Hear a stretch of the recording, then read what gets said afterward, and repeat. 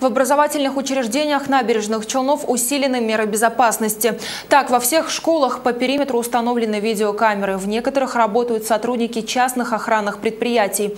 Новшества были введены после казанской трагедии, когда 19-летний парень начал стрельбу по детям и сотрудникам 175-й гимназии. Не успела страна отойти от ужаса произошедшего, как накануне подобная трагедия в Перми. Как отреагировали в челнинских школах и вузах? Подробности у корреспондента программы «Челны-24» Эльмиры Ганудиновой. Первая трагедия произошла в 2018 году в Керчи, затем в мае 2021 года в Казани. Спустя 4 месяца новое вооруженное нападение, теперь уже в Перми, в ВУЗе.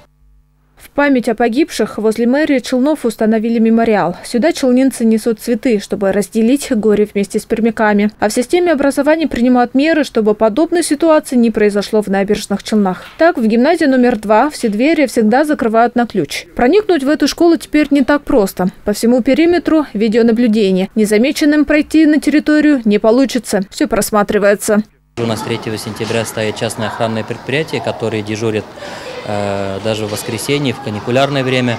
Также э, родители, если захотят зайти в школу, то заходят они только по предъявлению паспорта, записываем определенный журнал, и дежурный администратор их проводит.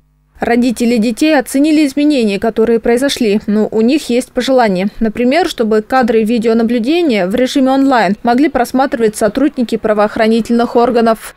Служба безопасности уже, может быть, наперед как-то реагировали на возможные э, такие э, последствия, которые вот сейчас в последнее время у нас в стране происходят.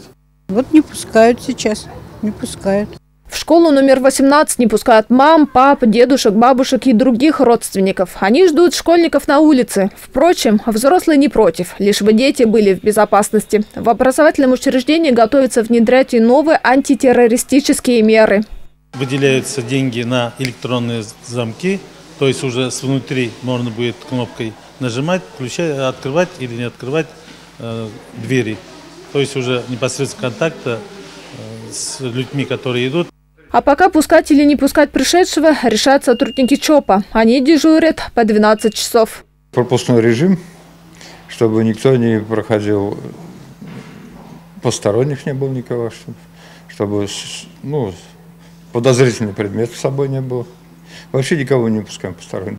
Увидеть, что творится на территории школы, можно на мониторах. Камеры видеонаблюдения передают четкое изображение. В случае, если кто-то появится с оружием, вахтер должен сразу нажать на тревожную кнопку. И ее мы показывать не будем в целях безопасности. Есть и несколько ручных пультов.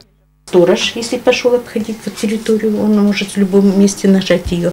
В Набережно-Челнинском институте КФУ также усилены меры безопасности. Увеличилось количество охранников. Они могут проверить не только студенческие билеты или документы сотрудников вуза, но и провести досмотр и использовать металлодетектор.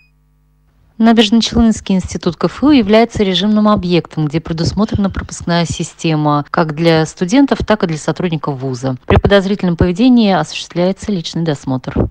Из городского бюджета в этом году выделят дополнительно более 200 миллионов рублей на модернизацию системы безопасности в учреждениях образования.